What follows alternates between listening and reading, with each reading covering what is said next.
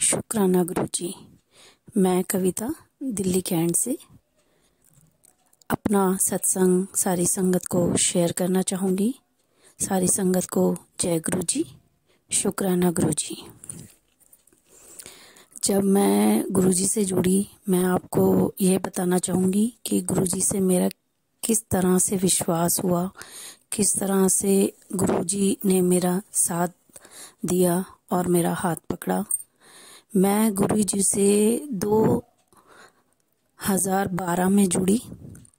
मैंने वहाँ एक मार्केट में गई तो वहाँ पर देखा कि गुरु जी का स्वरूप था।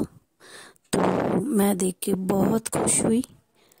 लेकिन उसके बाद मैं जुड़ी गुरु जी से बहुत टाइम बाद थी मैं तकरीबन गुरु जी से जुड़ी दो हज़ार पंद्रह में। पंद्रह में जुड़ी तो मेरे घर एक आंटी जी आई मतलब मेरे रिलेटिव में आंटी जी आई तो उन्होंने मुझे गुरु जी के बारे में काफ़ी सारी बातें की, बताया गुरु जी के बारे में। पर मैं गुरु जी के बारे में ये सब तो मुझे इतना तो ध्यान था, इतना मन था, पर मेरे घर में कोई मानता नहीं है। मेरे जो अंकल जी हैं, वो तो बिल्कुल ही नहीं मानते किसी पंडित के पास, किसी गुरु के पास जाने को। तो वो तो मुझे एग्री ही नहीं करते। तो इस कारण मैं इतने लंबे समय से आराम से मुँह बंद करके बैठी थी। लेकिन इत्तेफाक ये हुआ कि गुरुजी ने मुझे किस तरह से काफ़ी टाइम बाद जोड़ा, लेकिन बहुत इत्तेफाक से जोड़ा कि जब मैं 2015 में मेरे एक आंटी और अंकल जी ने बताया गुरुजी के बारे में तो ना उन्होंने मुझे जब बताया तो कहते हैं कि गुरुजी के मंदिर चलो एक बार। आप जाओगे तो सब पर कृपा होगी। फिर मैंने उन्हें बोला, नहीं, आंटी, मेरे घर में तुम्हें पता है, भाई, कोई मानता नहीं है तो मैं कैसे जा सकती हूँ? और मुझे कोई एग्री भी नहीं करेगा जाने को। तो फिर मैं चुप हो गई।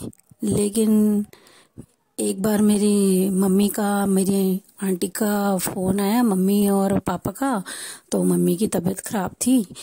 तो मैंने उन्हें गुरुजी के बारे में बताया कि आप एक बार वहाँ जाओ। तो जब मैंने उन्हें बताया तो वो गए। वो गए तो होकर आए। उन्हें काफ़ी अच्छा लगा। उन्होंने मुझे बहुत आ, कुछ बताया उनके गुरुजी के बारे में। तो फिर उन्होंने मुझे भी फोर्स किया कि तू भी चल गुरुजी के। तो मैंने कहा नहीं मैं, क्योंकि रेंट पर रहती हूँ, संगत जी तो मैंने बोला कि अभी मेरे को नहीं जाना, अभी मुझे घर शिफ्ट करना है यहाँ से तो मैं उसके बाद जाऊँगी। तो मुझे, उन्होंने कहा, ठीक है मम्मी जी ने कहा कि ठीक है, कोई नहीं, दो महीने बाद चलना। मैंने कहा, ठीक है। उसके बाद जब मैं शिफ्ट हुई तो मेरे दिमाग से ही निकल गया। मैं भूल ही गई कि मैंने किसी को ऐसे बोला था, मम्मी को ऐसे बोला था, या आंटी जी को ऐसे बोला था। तो मैं फिर सोच में पड़ गई। मैं भूल ही गई। फिर मेरे को जब एक आंटी का आया रिलेटिव आंटी का फ़ोन आया तो उन्होंने मुझे बोला कि ऐसा है कि बड़े मंदिर चलना है गुरुजी के, और तुम चलोगी, कविता तुम चलोगी। तो मैंने कहा कि हाँ मैं पूछती हूँ अंकल जी से, अगर वो एग्री होते हैं तो मैं ज़रूर चलूँगी। अच्छा मेरे को डर था कि मेरे अंकल जी तो मुझे मना कर देंगे। तो उन्होंने कहा, ठीक है, तुम पहले पता कर लो और रात में बात कर लो और सुबह मुझे कॉल करना, मेरी छुट्टी है, फिर हम दोनों चलेंगे। मैंने कहा, ठीक है। मैंने अंकल जी से मन में जय गुरु जी बोलती रही और अंकल जी से बात की कि मैं गुरु जी के मंदिर जाऊँ, आंटी का फ़ोन आया है। तो उन्होंने झट्टी बोला कि, तुझे जाना है? मैंने कहा हाँ मुझे जाना है। तो उन्होंने कहा, ठीक है, तू चली जा।